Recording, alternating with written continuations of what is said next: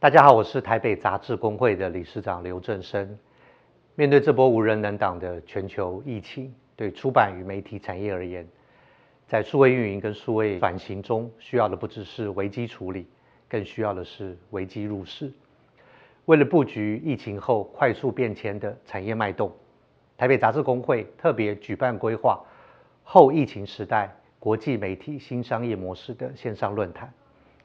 第一场线上论坛，我们邀请国际期刊联盟 （FIPP） 的总裁暨执行长 James Hughes 主持，来跟我们分享在今年第四十三届世界媒体大会线上年会所发表的最新版世界媒体创新报告演讲，讨论关于疫情期间产业趋势、商业模式、人才留任与永续经营等议题。接下来，让我们一起听听他们的分享。Now, our presenters for this session are the co-editors of this book. They are, of course, Juan Señor, the president of Innovation Media Consulting, and John Wilpers, IMC's senior director for the USA. Gentlemen, welcome to the Congress, and over to you. Thank you, James. Thank you. Thank you, James. Well, this is the book that we put together every year for the last 11 years, and it's the most successful media innovations in the world, gathered from 12 months of our research and global media experience. What it has in here is chapters on 13 monetization models, has how to be creative uh, in media, has a chapter on sustainability, has a chapter on podcasting. And today we're going to talk about sustainability and human capital. But first, we have a broader view of what's going on. So, Juan? Thank you. Thank you, John. And uh, yeah, great to connect with all of you via uh, these wonders of technology in this uh, very fragile world. And uh, fragility is indeed perhaps uh, one of the themes of the book, uh, trying to figure out how we all uh, you know, going to hold this business together. And uh, I'm happy to say that there's some some incredible insights uh, from the book this year. So worth getting the book as an additional help uh, to all the work that FIPP is doing uh, to help us guide us through this uh, incredible uh, perfect storm. Um, as you know, the book is done every year based on 12 months of research and our global media uh, consulting experience. Um, we are indeed uh, being in contact with a lot of publishers like you who are facing this. So we've been trying to, to get from them their insights as to how they're coping with this and, and, and share those insights with you. So we have been holding uh, uh, free sessions with many clients uh, as, a, as a way to help our clients. Uh, and, uh, and, and we've learned a lot, we've gleaned a lot of incredible insights from the publishers who are somehow uh, managing this whole thing well, some perhaps not so well, and others just getting out of a very deep hole that they're in as a result of it all. Um, you know your company, we, we know the industry, and that's our spirit with this book to try to share, to give you the barometer of uh, what's happening out there. We try to disrupt the disruption that is out there. It can be disrupted if you have a game plan. We'll talk about that in a moment. And we try to organize the chaos, the chaos that uh, we face uh, now on a daily basis and probably for the next six months to come. Um, part of it as well is, is trying to take advantage of this whole thing to, to relaunch your legacy. This is a good time to do so. We'll talk about this in a moment. And transforming staff, we found, and this was uh, a serendipitous uh, insight that we had, that really is about people.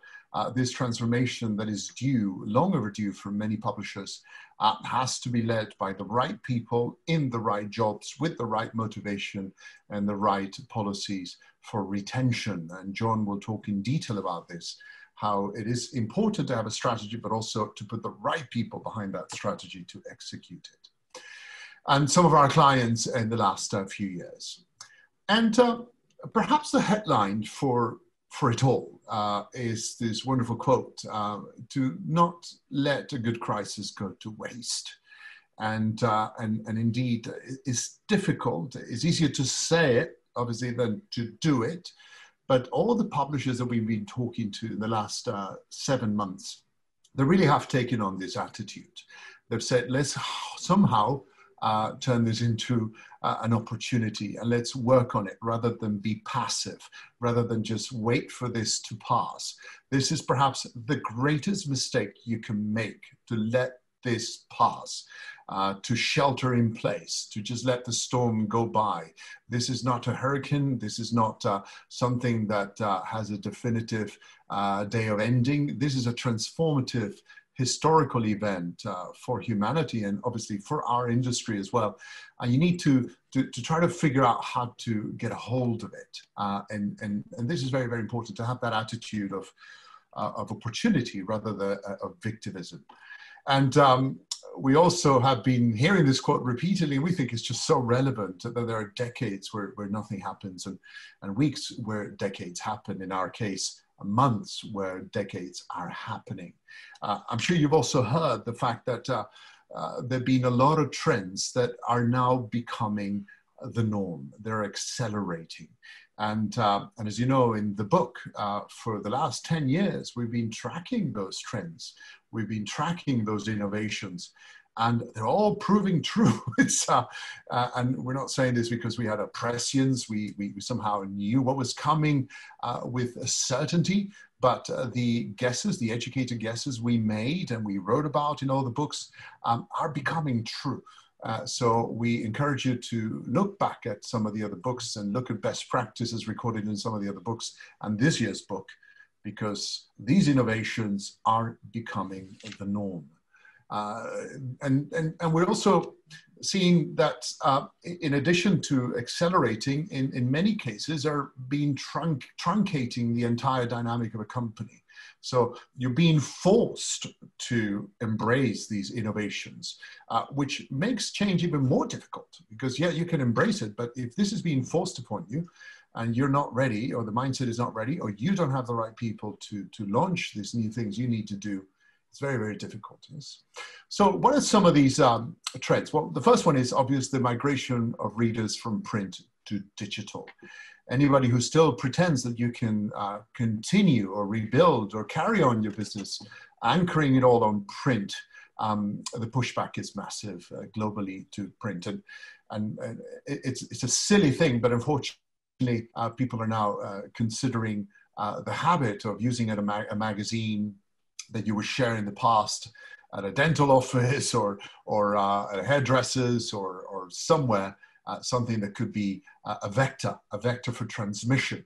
So that has led to a lot of people saying, okay, I, I, I love, I love the lean back print magazine experience but I can't do it. I'm afraid. So therefore, but I still want the content. So so you really must be ready. Uh, you must be ready for that. And and and and and of course, once habits are formed, when people have tasted or decided that they will consume your content uh, digital first, uh, then it's difficult to bring back the old habit of print first. So you will lose some definitive readers forever to a digital first experience. And of course, as you know, we've said it repeatedly, uh, no medium ever replaces another medium, but just beware that the fact that magazines, and we must say it and speak about this openly, are considered vectors of possible transmission of this bloody virus uh, as a result, um, many people will want your content, still want it on digital first.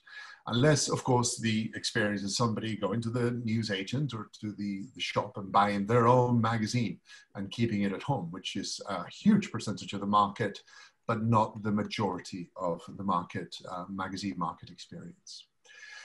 The second thing is the migration uh, from ad revenue to reader revenue a definitive, uh, definitive uh, trend change. Uh, really, uh, uh, we've seen the plummeting of ad revenue as a result of many companies in, in a dynamic of a dash to cash. So you're trying to prevent the bleeding cash. And of course, the first things that go um, are marketing advertising budget. So in a situation like this, to, to, to, to just be, again, as I said at the beginning, to, to be expecting this to come back when there is a vaccine or, or in the coming months is, is disingenuous. Uh, you really should be uh, thinking about uh, how do I definitively begin, begin the journey to reader revenue, um, uh, upgrade that journey, uh, emphasize it, uh, boost it, whatever you need to do if you've already started in that journey. So at least 40% of your revenue comes from paying readers in digital because remember, Uh, the copy sales are going to be affected, are being affected. So you must now get people to pay for that digital uh, reader paying experience. Another thing that is uh, it's a tangential um, trend that has accelerated and something that we knew could happen and might happen was beginning to happen has accelerated massively and, and again tangential because it does not have and yet it does have a direct impact on our industry is the vertiginous collapse of trust in social media platforms. Uh, we've seen um, Instagram influencers, we've seen uh, uh, people with massive followers on Twitter and Facebook uh, sharing uh, conspiracy theories, uh, magic cures, irresponsible comments about how to how to not die from this thing, and uh, and many of them with good intentions, some of them just profiteering, honestly, and that has led to brands rethinking rethinking their few remaining ad dollars. Should we really put them uh, on the accounts of these influencers. And remember, for magazines, for consumer journalism, a lot of that money was shifting quickly uh, to not just uh, display advertising, but uh, influencer, social media advertiser.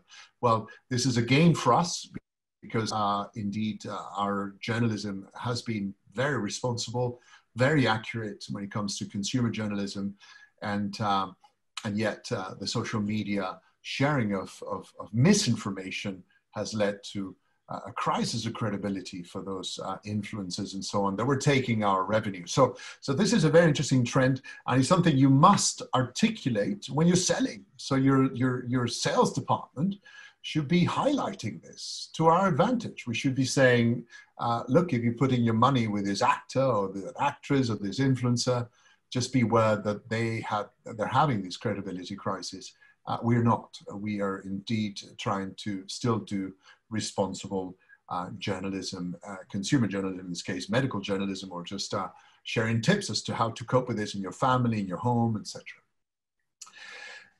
This has also led to um, a, a, trend that started, started in a very faulty way. We've talked about it at FIPP congresses uh, for so many years, and, and James has done such a brilliant job of of addressing this head on and having wonderful discussions, uh, open discussions about our our dysfunctional relationship with Facebook and Google. And we tried and tried to engage with them and tried to somehow uh, get them to give the, uh, the, the, the, magazine industry, the publishing industry, uh, the, the, the, the, media industry a better deal. They refused. Uh, this is now led to legislation, as you know, in Australia first. It's coming to Europe in the coming months. And uh, they are now going to be forced to share the revenue, not just from news, but also from any information we provide.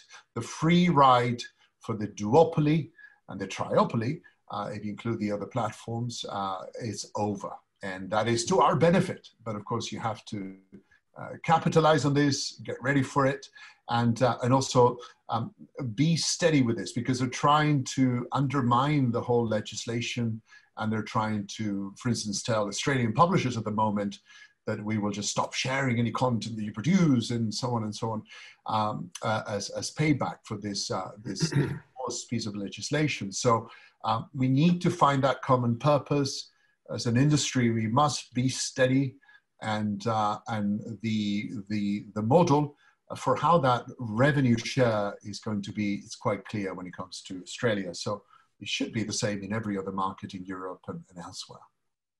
But um, note every norm should continue to be the normal. And, and this is a very important point uh, that I would like to emphasize and that we have uh, seen um, in talking to clients uh, globally the last seven months. Uh, please, please, no knee-jerk reactions. Uh, you have to really do this with, with, with head rather than emotion. And, uh, and, and just there's a lot of talk about these new normal things that we don't believe should be the normal going forward.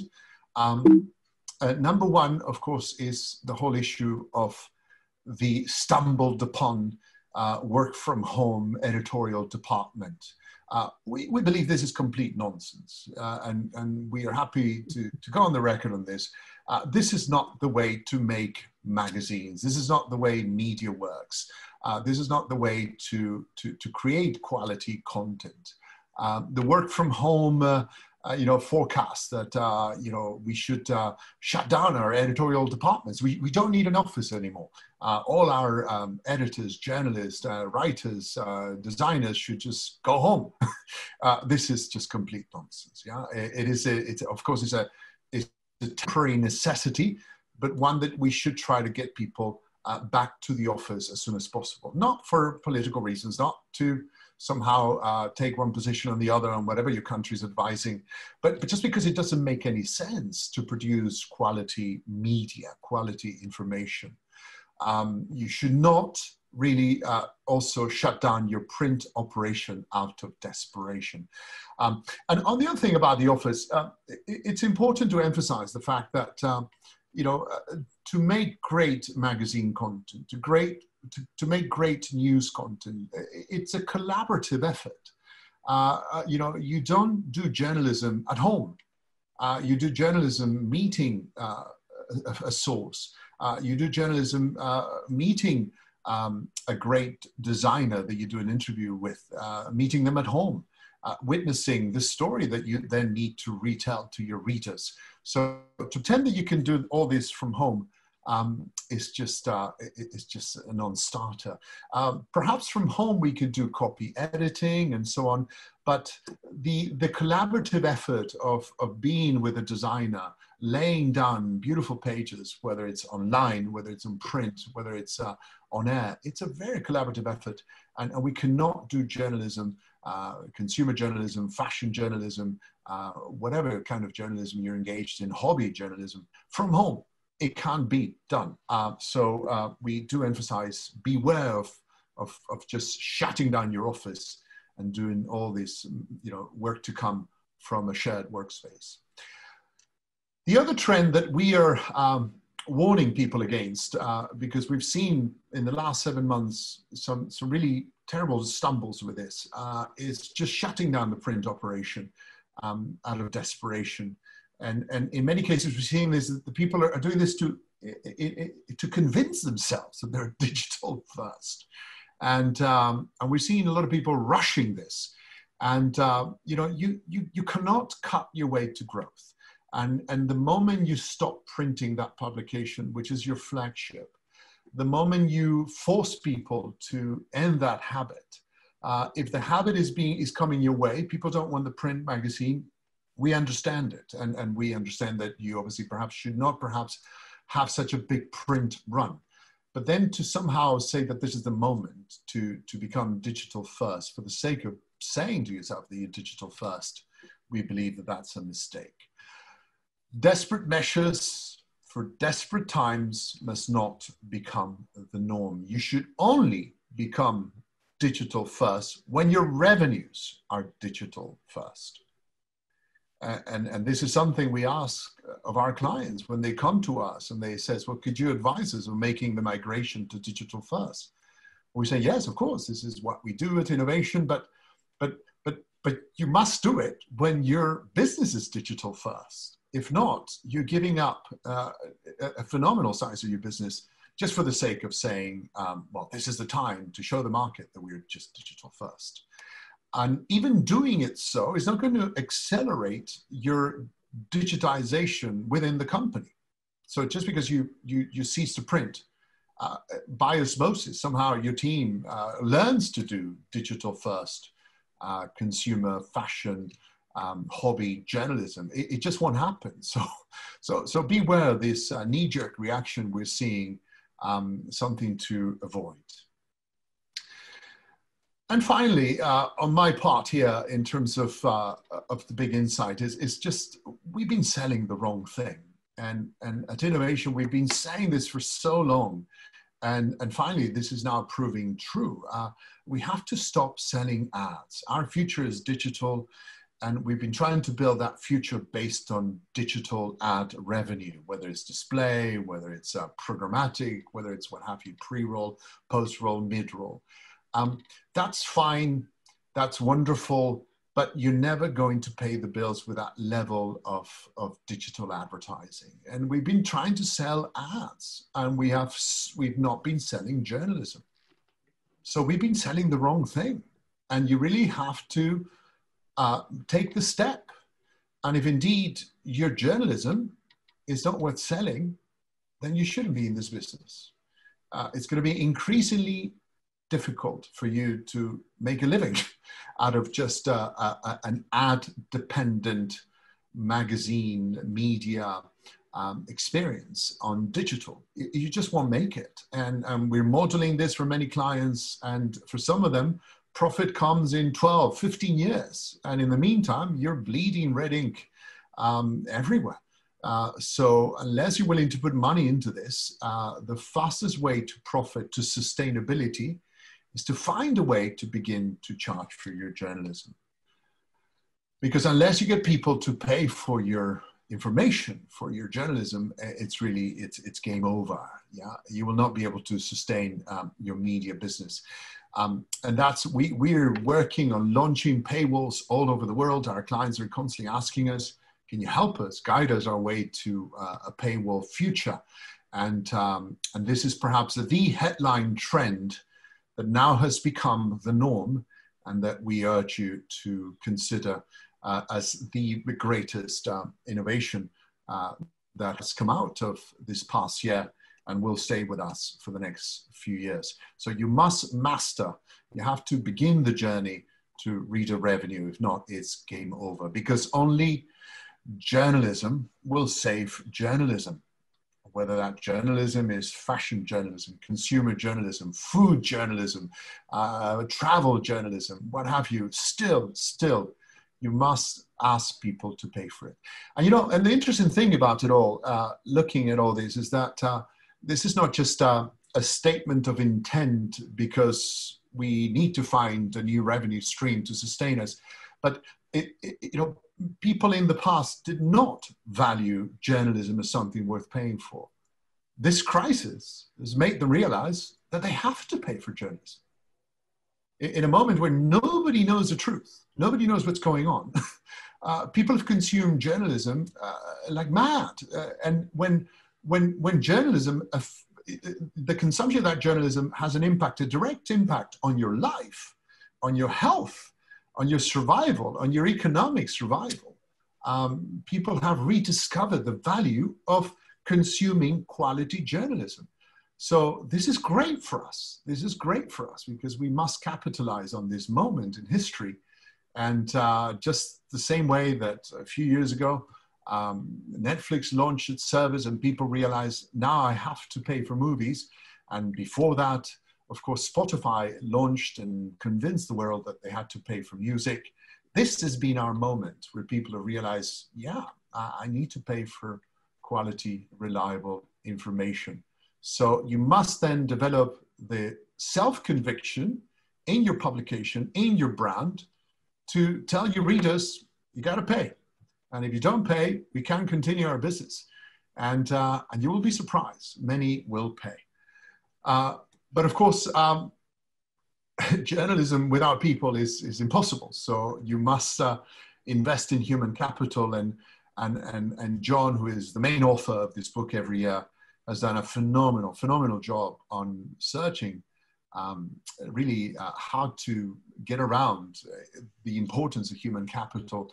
As I said, how to get the right people for the right job and indeed motivate them, retain them, attract them to our industry. So, John, over to you to take us through the rest of the book. Great. Thank you, Juan. All right, first slide. Despite the fact uh, next slide, sorry. Despite the fact that everything has changed, we're still doing things the old same way. Yes, we're working remotely, and some of us never thought that it would happen this quickly or at the scale that it's happening at. But even before COVID 19, everything was changing dramatically anyway. The skills we're looking for, the types of people we need, the way that we and they communicate with one another, the workplace, the pace of change, and yet, and yet we're still hiring the same way. we still just post ads, we sit back and wait. Then we waste tons of money and staff time sifting through hundreds of applicants, many of them from unqualified applicants.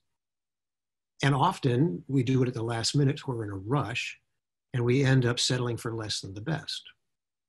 There's a guy at uh, the Wharton School of Business at the University of Pennsylvania who says businesses have never done as much hiring as they do today.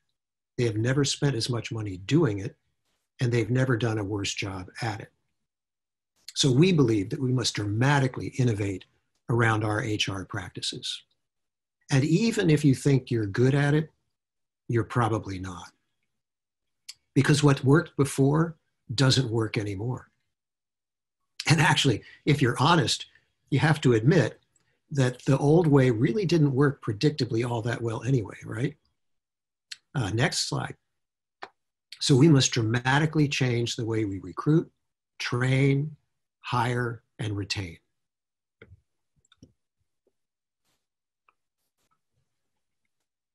And this is so important because in this COVID 19 world and the world that follows, if we don't hire, train, and retain the best talent, none of the ideas in the book, none of the ideas that you're hearing in the Congress will be able to work because you don't have the talent to pull it off. So let's start with recruiting and hiring. What did we find in looking around for innovative ways to do that? Top talent is critical. Next slide, please. According to McKinsey, superior talent is up to eight times more proficient. So we and, it's it's it's fairly well established that but still despite that despite that acknowledged importance of, of acquiring talent a whopping 82% of companies according to mckinsey's research don't believe they recruit highly talented people for all the reasons we just talked about. And worse, 7% of those companies, only 7%, think they can keep those people. So, how do we entice talent, especially with the relentlessly negative press that the media industry has been getting lately? Next slide, please. We must transform our companies into alluring, employee and focused places. And then we have to market the hell out of it. We must make our, our companies appealing places to work. And then broadly that, broadly market that new culture to be able to attract the people we want because good help really isn't hard to find when top talent is looking for you. And what is top talent looking for? Well, we found there were nine things that the talent, the people that we want to hire are looking for in a company that they want to work for. And only one has to do with money. There's a mission they can believe in, a positive culture, stimulating challenges, professional growth, mentorship, competitive pay, there's the financial one, rewards for excellence that don't have to be financial, advancement opportunities, and flexible work hours and locations. So, as a company, each of us needs to do the following make sure that your company's mission and values are appealing, clear, and easily discovered. So when somebody goes looking for a company, they hear about your company, they hear about a job opening, they're going to go looking for you. You want them to find what you want them to find. So you need this stuff to be easily discovered. And then you want to create an employee focused culture, emphasizing individual growth, flexibility, all those nine items that we found. And then you want to get your best ambassadors involved in your recruiting, and those are your own employees. Now, why do we go to this, all this trouble? Well, for two reasons at least. 84% of employees, according to McKinsey again, would consider leaving their current job to move to an employer with a fantastic reputation, even if the salary bump was not significant. So it's a win win. If you do this stuff, you have a happier workforce, and they then become your most enthusiastic ambassadors, helping to hire high quality people yourselves. So, how do you go about this? Slide, please. You have to be on the offensive, but you also have to be on the defensive. Let's take the offensive first. You have to market your culture whether you're looking to hire or not, because when it's time to hire, you won't have the time to create all the information that you want up there for the people to find. And then you have to apply marketing strategies, just like you tell your advertisers. You have to expand your social footprint. You have to create content about your culture. You have to do search engine optimization so that when people go looking, they're going to hunt and they're going to find you. You have to do landing page conversion optimization. So when they get to your site, you help convert them.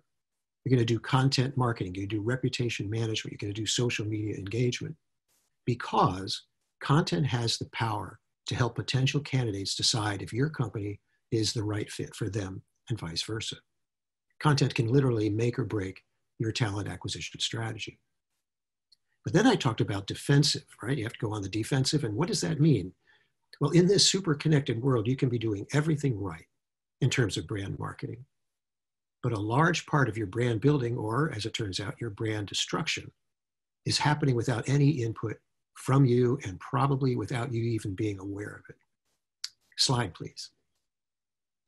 At least five online sites allow current and former staff to rank the CEO, the company itself, the interview process, and most importantly of all, answer the question Would you recommend the company to a friend? Now, to me, that's the most important ranking because it amounts to word of mouth.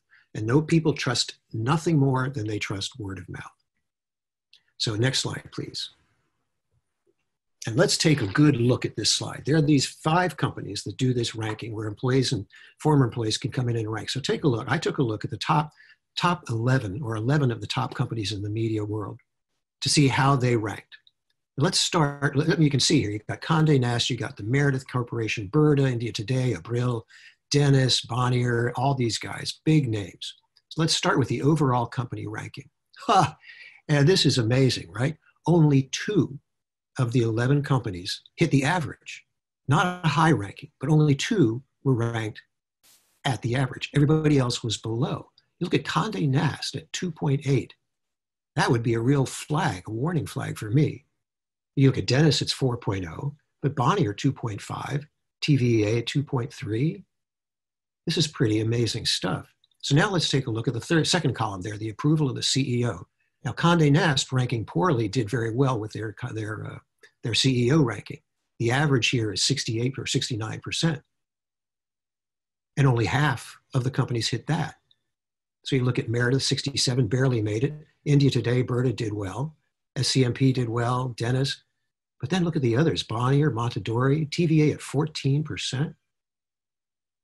Let's look at the third column. This is the most important one, recommend to a friend. So the average is 49%.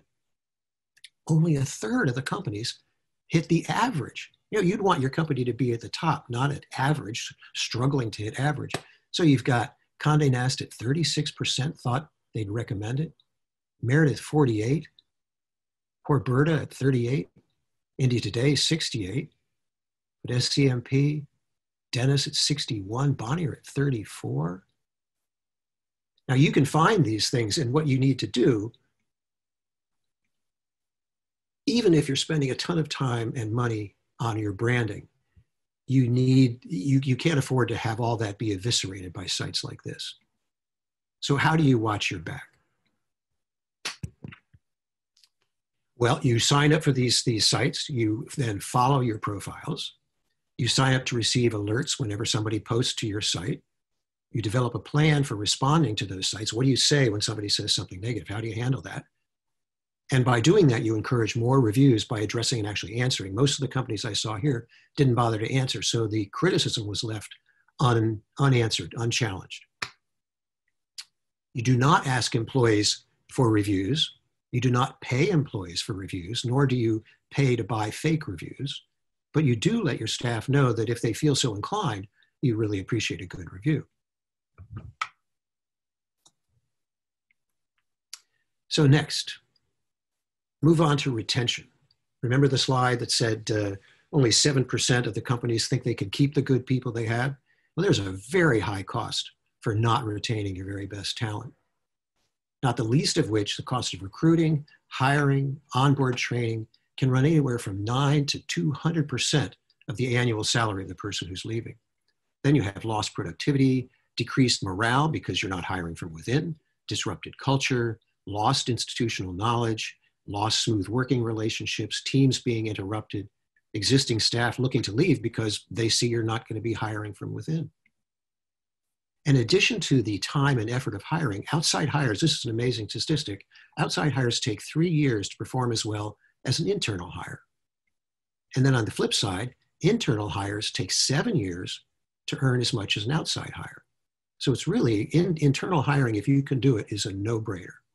And how do you go about that? What, well, we found, could the next slide, please? But let's take a look at what the 13 strategies are.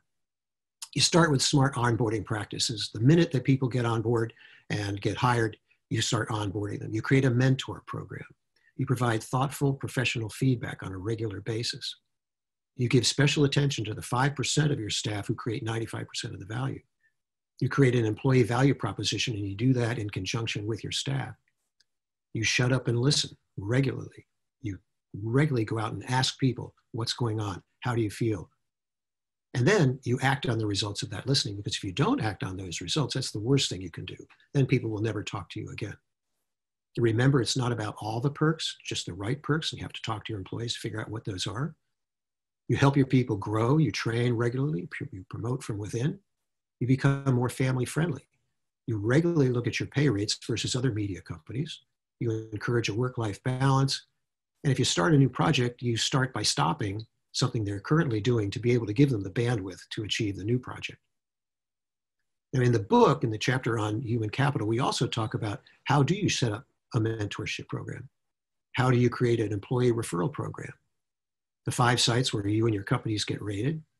What is human analytics and how to choose a system? I, I encourage you to read that piece of the chapter. It's fascinating stuff and has a big impact on people hiring, on the whole process. How to hire women, and the five questions to ask at a stay interview. When you sit down with somebody, you want to make sure they're going to stay. What do you, what do you talk about? Next. So now we're going to talk about going green, sustainability. And next. So, crickets. Why am I showing a cricket? I'm showing a cricket because there's a dearth of any or any substantial environmental, environmental sustainability initiatives at many media companies. Now, maybe that's because we've just been struggling to survive but there was a rush of sustainability activity about 10 years ago when the topic was initially hot. But now in our, our, research, we find that going green seems to have been reduced to creating editorial packages about climate change, spelling out how businesses and governments and, and our readers can and should become good environmental citizens. But as far as us ourselves is concerned, uh, not so much. Now, to be fair, I did find some media companies who have created environmental sustainability mission statements. They've established internal teams to examine their own processes and practices. They've identified measurable goals after identifying what their carbon footprint is. They've published the results of their efforts. But my review of the 30 largest media companies in the world, followed by a Google search of all media companies, any sustainability activities, revealed virtually nothing. Many media companies have no sustainability policies or goals at all. And of those that do, many have statements and goals, but they've never been substantiated with progress reports, or those progress reports have not been updated in years. And, and, the sad thing is, some media companies probably do have sustainability policies and results that I missed, but the Google search demonstrates their failure at promoting those efforts. So they might as well not be doing them because you want your readers to know about it. You want the country to know about it. Next. Sustainability has three big benefits customer relations, bottom line savings, and saving the planet. Improved customer relations. Studies have shown that consumers prefer to support companies with a track record of sustainable practices. Bottom line savings. Studies have shown you can actually improve your bottom line by implementing sustainable initiatives. And we've got lots of examples in the book about that. And saving the planet. After an initial environmental audit, you can subsequently prove that your efforts are reducing your carbon footprint, among other things. Next, how to start your sustainability program. You begin, and we think this is absolutely essential. You have to begin with a third party consulting firm analysis because number one, they know what they're doing, you don't. Number two, it, it says transparency, it says honesty. And number three, they can give you ideas about how to deal with your carbon footprint that you would, would not have thought of either. Number two, next slide. Number two, establish a baseline. Figure out what it is you're doing now. So from, from this point on, you can show progress. Then you want to get the staff brainstorming. What do they think you should be doing? Because they're the ones who are going to be executing it, right? And so if you start with the staff brainstorming, you won't have to worry about buy-in because the ideas are coming from the bottom up. Then you want to create a mission and measurable goals so that you can so show progress. And there's a fifth one that, that is you should publish your progress against the goals regularly so your readers can see the progress you're making and be reminded that you are trying. Next, please. So here from the book are several examples of things you can do from very, very simple stuff, big things like eliminating plastic wraps that takes a lot of work and time and, and research, to ink optimization, for example, using virtual page proofs instead of paper page proofs, reducing the size of your direct mail package. Next. Replacing bottled water with filtered water. This is, I thought this was pretty clever. Set your printers to default to double-sided. Cut your paper use in half. Reduce paper and plastic cups with mugs. Use LED lights. Now in the book, we go into great detail on long and short-term strategies to win the sustainability space. We have 22 big and small specific sustainability initiatives from global leader Meredith. We have some corporate level sustainability commitment examples from the post sustainability poster child, The Guardian, which earlier just this year stopped taking ads from oil and gas companies. And in 2016, they divested all oil and gas stock. And then a thing on how to, to get rid of plastic wraps. So in the book, we also talk about, as I mentioned, I think in the beginning, 13 monetization models. What are the things you can be doing to build your business model that works for you? What, how you can launch and monetize podcasts, how you can get very creative in uh, content, and then our favorite chapter, which is the, excuse me, the print and offbeat innovations. What is the human mind coming up with that is fun and creative in, in, um, in print? So, welcome back, everybody. I'm here. Thank you very much for a fascinating presentation, gentlemen. Excellent as usual. We've had plenty of questions from the audience, some of which have come through other means, so we've put them on our little screen here. I'm going to start with uh, going back to the question at the beginning about remote working. What advice do you have for publishers on developing talent? This has come up actually in a few of our discussions with uh, leaders in the industry recently. How do you develop people in distributed workplaces or in remote working? Have you come across any experiences of that? Uh, John, you want to kick it off? Well, we've seen lots of people who have uh, scrambled to take what they had as a training program that was mostly, uh, well, was not regularly scheduled. It was hit and miss. It was not uh, digitized for sure. It was basically the HR person would get people together every now and then. They hold, they'd hold a brown bag lunch and what we've seen, not many companies, but some companies do, is come up with a very aggressive, planned, digitized videos with workbooks, with a schedule, with agendas uh, around the topics. What they did was they surveyed the staff at home. And what they might have thought was appropriate in a training program before COVID 19 more or less wasn't what was appropriate now. And what they found were things that had to do with um, the Zoom meetings, how to coordinate meetings, how to motivate people, how to stay in touch with your staff if you're an editor, how to stay in touch with one another if you're a staff member or a reporter.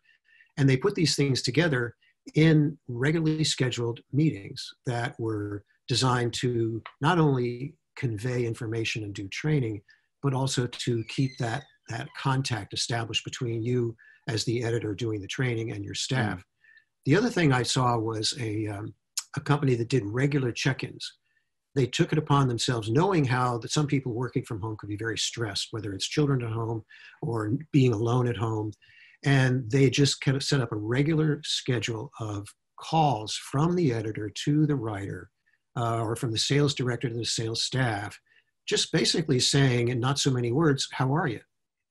And as the speaker just before us talked about, that mental health piece of this puzzle right now, as long as we're doing this remote work, is is absolutely critical. If you're an editor, if you oversee people, uh, you should be on the phone or on the Zoom with no reason other than just to say how you doing. You know, because if you're only calling for the reason, then they're mm. not sure you're concerned about them. And right now, we have to be very concerned about them. I want to pick up on the point that Juan made at the beginning about um, be careful that the new normal does not become normal. Uh, I, I, think that's how you phrased it.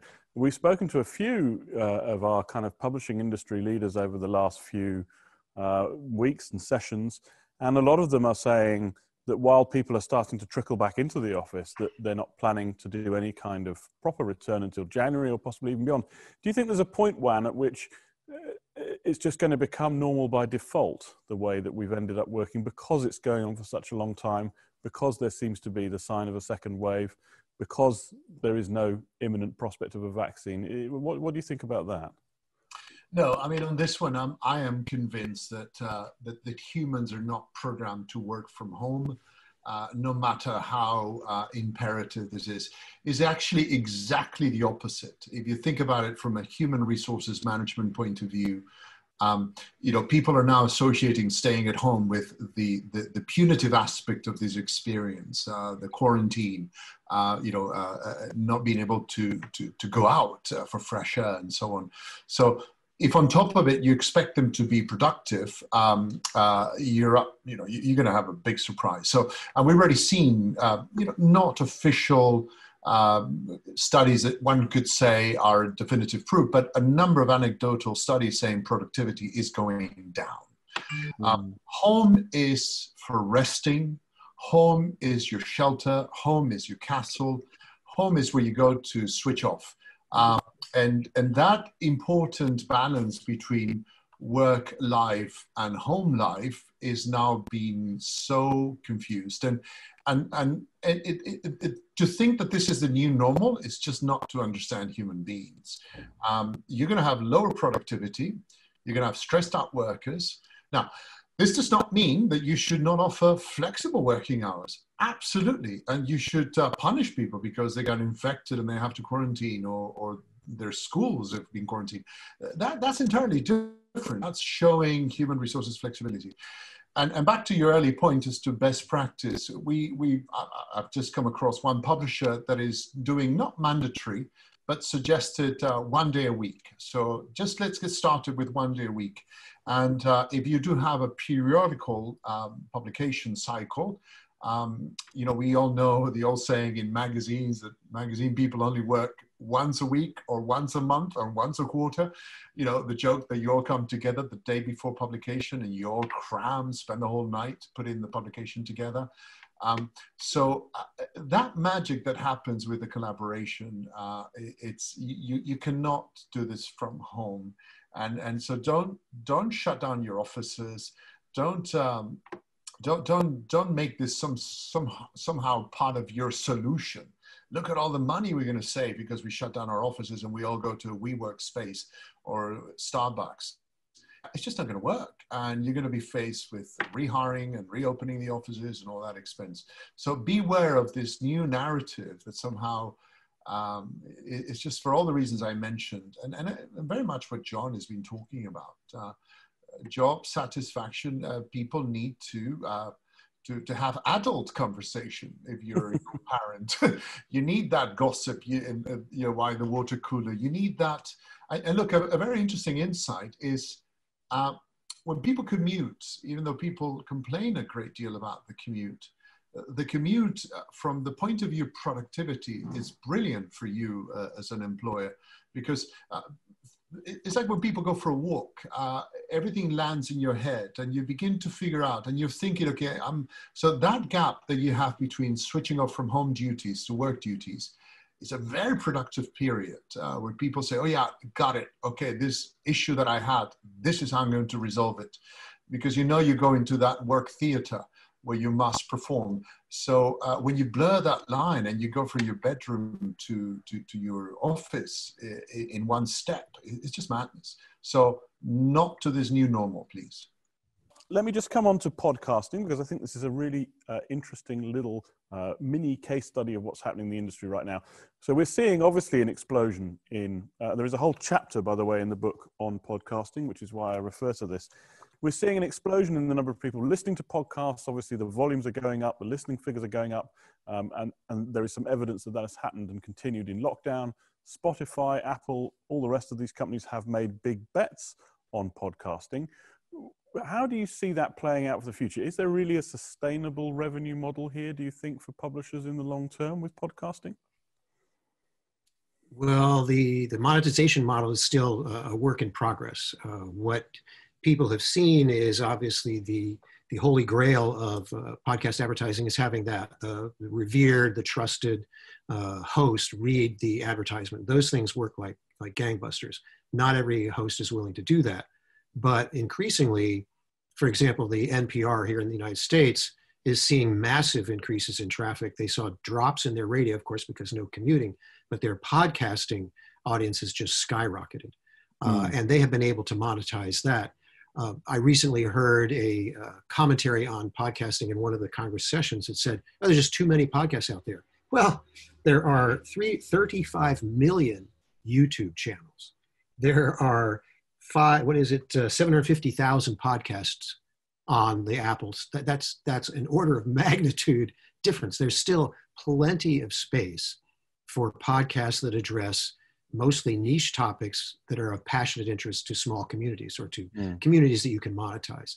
Um, because of if we do get back to the commuting, and even if we don't, we're finding people are taking the time to listen, whether it's on uh, Alexa or whatever it is, they're listening and anytime you have an audience of that size and an identifiable niche, a, a community of shared passions, you can monetize it. We just have to figure out how. Um, yeah, to that, uh, just a warning, uh, James, I'm sure you've come across this. Um, even though the numbers of, of podcasts have gone up, uh, the habit has been broken uh, for many publishers, and they're seeing the data very clearly. Um, as John said, uh, podcasts uh, were booming uh, at a time with long commutes and, and people just, you don't want to be in the tube, in the underground, in a bus, trying to scan, you want to be alert. So you listen to the information that matter to you. Uh, when people are not commuting, um, the, the number of, uh, of listeners has dropped, down, dropped dramatically. Um, the, the other insight, and, and, and John in the last few years has done a brilliant job tracking down best practice when it comes to this.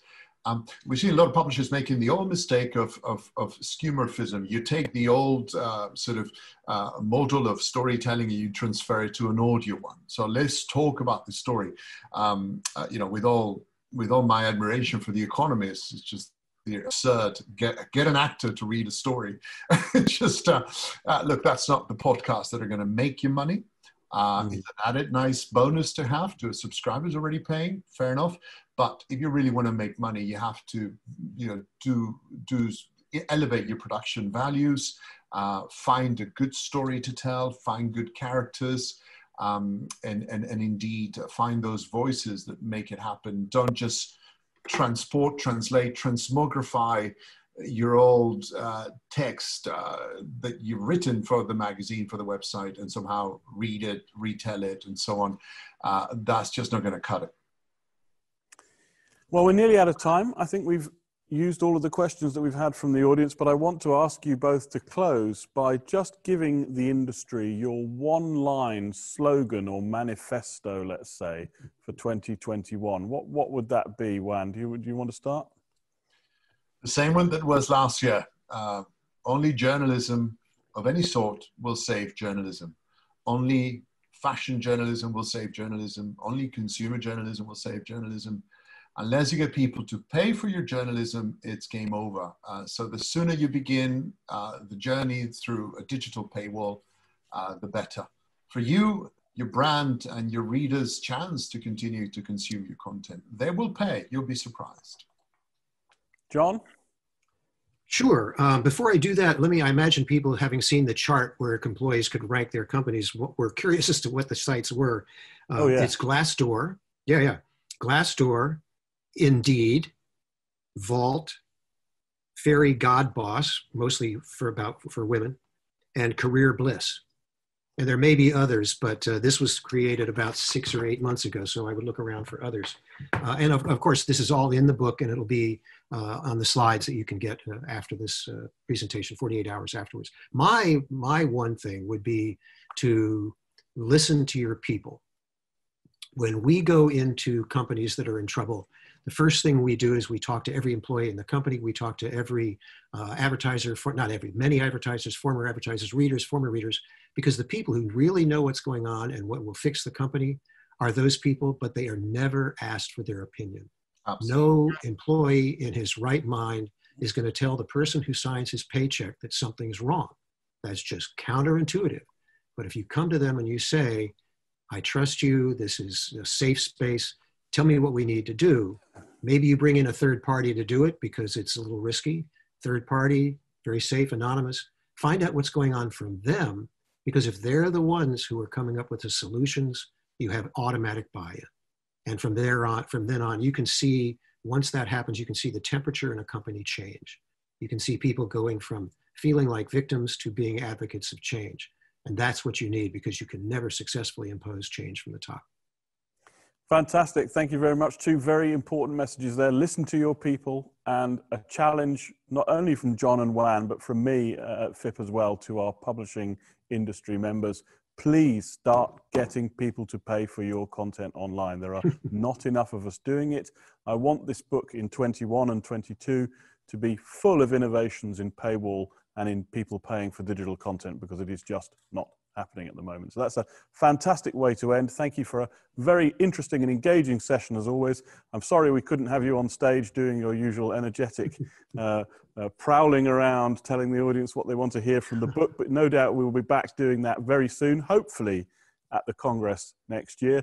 But for the time being, John, Juan, thank you very much for your time. Thank you for coming on. I know everybody found it useful, and we will see everybody at half past four for the next session, UK time. Thank you and goodbye. Thanks, James.